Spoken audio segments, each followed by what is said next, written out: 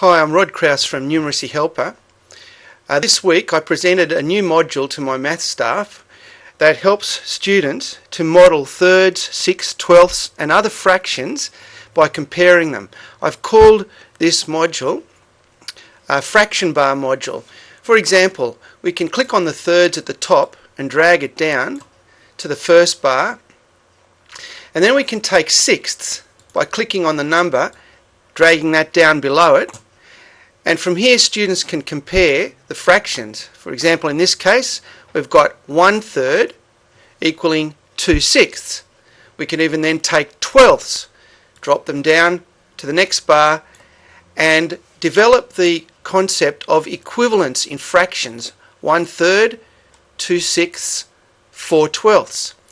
Now, another advantage of using this particular module is to help students understand the concept of things like fractions compared to percentages and decimals. Let's have a look at our tenths. Here's our tenths bar which we'll drag down.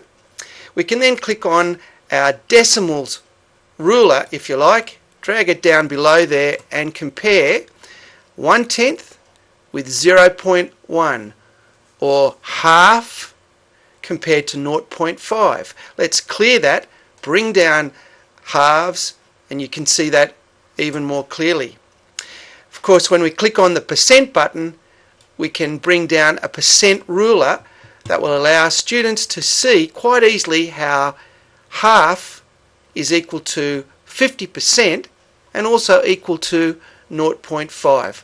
So this module is developed for an interactive whiteboard or can be placed on individual computers, but the main purpose is to illustrate the fact that fractions can be compared visually also with decimals and percentages. I hope you find this worthwhile and you'll find the software available at numeracyhelper.com.